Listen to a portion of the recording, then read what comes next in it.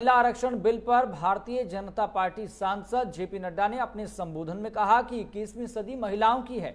हमें खुशी है कि भारत की महिलाएँ खुद को लीडिंग रोल में लेकर आई हैं। बहुत से ऐसे देश हैं जिन्होंने महिलाओं को वोटिंग राइट्स देने के लिए लंबा संघर्ष किया था।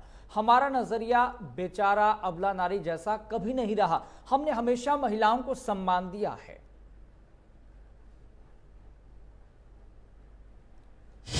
सॉफ्टवेयर की दुनिया में 21 परसेंट हमारी महिलाएँ हैं जो लीडिंग रोल में हैं। आज हम अगर इसरो की बात करें, जिसके बारे में कल परसों जयराम रमेश जी चर्चा कर रहे थे, उसमें अगर हम साइंटिस्ट देखें तो फिर चाहे मार्स मिशन हो, चाहे चंद्रयान हो, चाहे आदित्य एलवी एल वन हो, इन सब में महिला साइंटिस्ट का बहुत बड़ा योगदान है इसको भी हमको ध्यान में रखना